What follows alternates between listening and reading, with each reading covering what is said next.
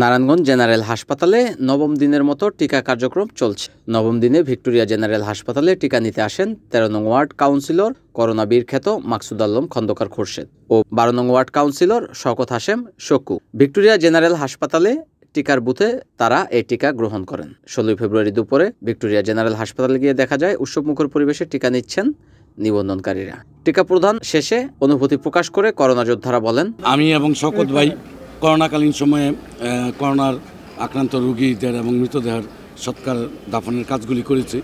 এজন্য আমরা আজকে একসাথে এবং আগে কাউন্সিলরদের মধ্যে সবার আগে দিলাম যেন মানুষ আমাদের দেখে সাহস পায়, উৎসাহিত হয়।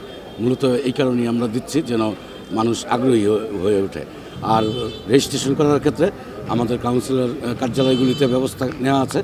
যারা নিজেরা না করতে পারছেন, তারা যদি আমাদের কার্যালয়ে যান, তবে আমরা রেজিস্ট্রেশনের ব্যবস্থা করে দেব। আমি যেহেতু আজকে ভ্যাকসিন নিয়েছি এবং আমার পাশাপাশি আমার আরেক ভাই, নারায়ণগঞ্জের অত্যন্ত জনপ্রিয় কাউন্সিলর মাকসুদুল আলম খুরশেদ, আমরা দুজনই সলা পরামর্শ করলাম যে আগে আমরা দিই। কারণ আমরা যদি আগে না দিই, তাহলে সাধারণ জনগণ উদ্বুদ্ধ হবে না। এবং এই লক্ষ্যে আমরা কাজ আপনার সবাইকে অনুরোধ জানাব যে আসুন, আমরা টিকা দিয়েছি, আপনারাও টিকা দিন, আর টিকাটা দিতে খুব একটা বেশি সময় লাগেনি।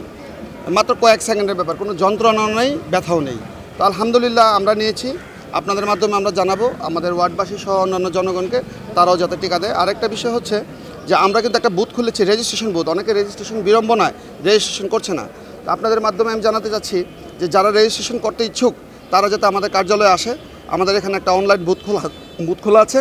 তারা সে ওই জায়গার মাধ্যমে আপনার বিনা খরচে, কোনো ধরনের খরচ নাই, কোনো ধরনের বিড়ম্বনা নাই, আমরা রেজিস্ট্রেশন করে প্রিন্ট কপি আমরা দিয়ে দেবো। N TV news desk